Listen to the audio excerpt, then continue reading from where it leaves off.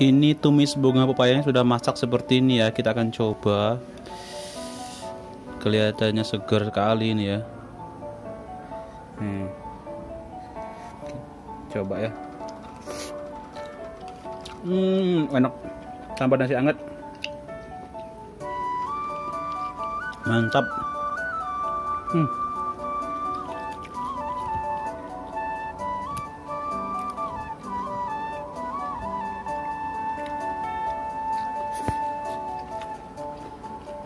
Hmm, enak. Bagi teman-teman yang belum subscribe channel ini silahkan subscribe tekan tombol lonceng notifikasinya, like, komen, dan share. Selamat menonton video ini, semoga bermanfaat. Kita lanjut makan. Makan tumis bunga pepaya. Hmm, banyak-banyak lah.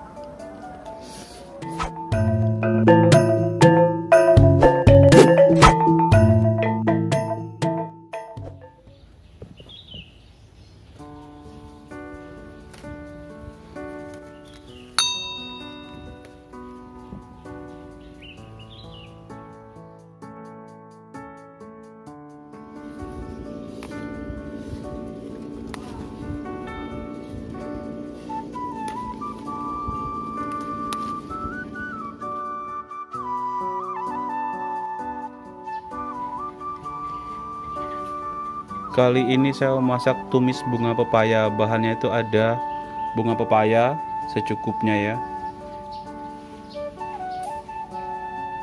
Lalu bumbu-bumbu yang saya gunakan ada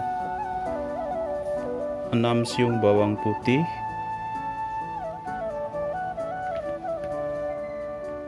7 siung bawang merah,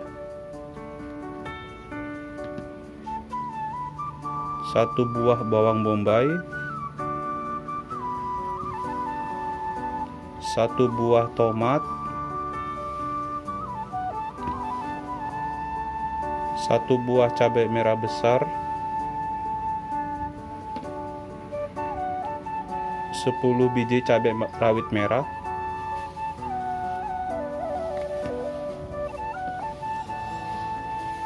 satu ruas lengkuas,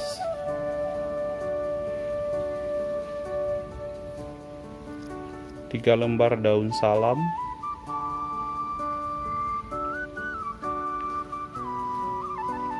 dua sendok makan garam, satu sendok makan kaldu ayam,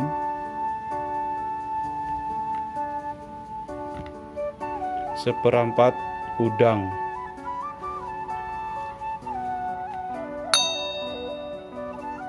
Untuk resep lengkapnya silahkan lihat di deskripsi video ini ya. Tumis bunga pepaya. Pertama-tama kita akan rebus bunga pepayanya ini. Di airnya ini kita masukkan asam jawa sedikit, juga garam. Ini kan airnya sudah mendidih baru kita masukkan bunga pepayanya. Apa namanya bunga bunga kates ya, Dek? Di Jawa namanya apa sih? Bukan bunga pepaya itu? Kembang kates. Alah. Kembang. Rondo kembang.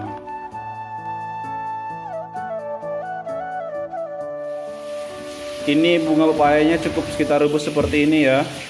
Sekarang akan kita angkat kita tiriskan. Setelah itu kita akan tumis. Tumis bunga pepaya kita iris bumbunya. Ini bawang bombanya juga kita iris ya iris biasa aja.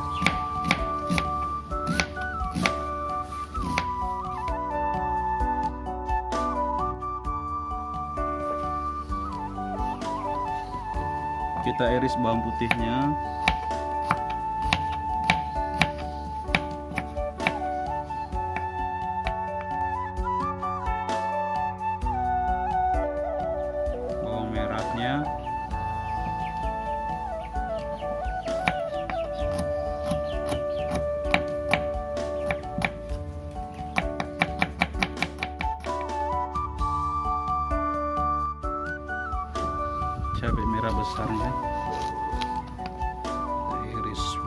aja ya. dengan bijinya aja enggak apa-apa.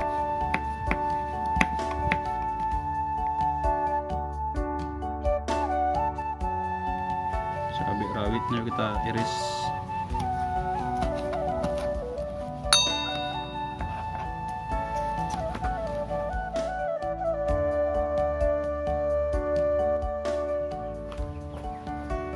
Tomatnya kita iris juga.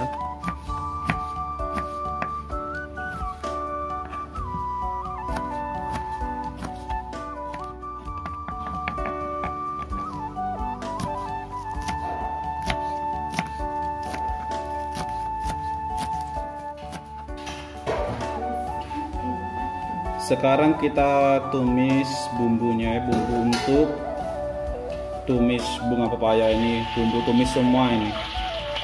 Bawang merah bawang putihnya kita tumis sampai matang bawang bombaynya juga.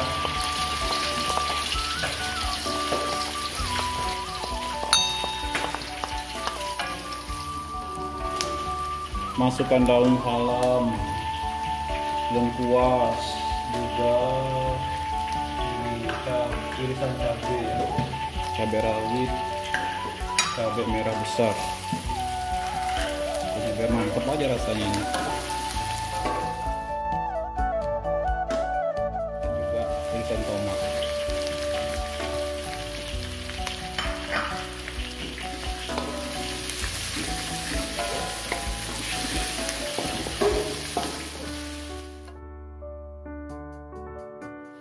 lalu kita masukkan udangnya kita tumis udangnya dulu ya sampai matang.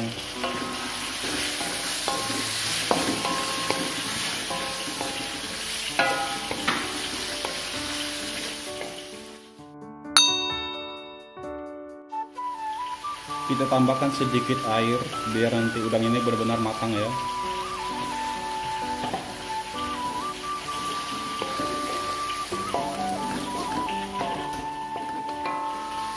ini udangnya udah matang kita masukkan sekarang yang bagian terakhir masukkan bunga pepayanya yang sudah kita rebus. Dijamin jos rasanya ini.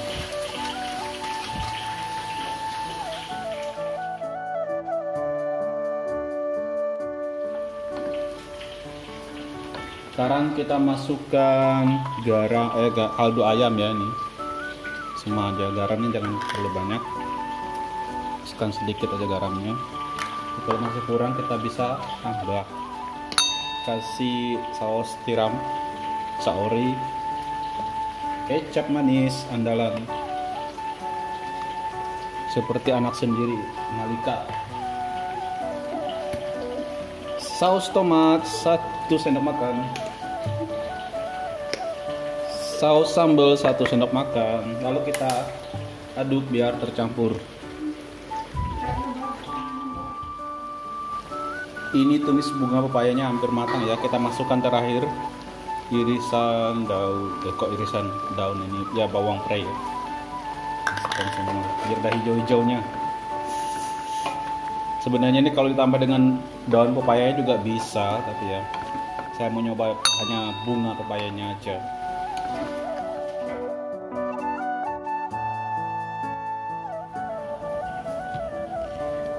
ini tumis bunga pepaya sudah masak seperti ini ya penampilannya. Segar sekali. Terima kasih sudah menonton video ini. Bagi teman-teman yang belum subscribe channel ini silahkan subscribe. Tekan tombol lonceng notifikasinya. Like, komen, dan share. Sekali lagi terima kasih sudah menonton video ini. Sampai bertemu pada video-video berikutnya. Tumis bunga pepaya mantap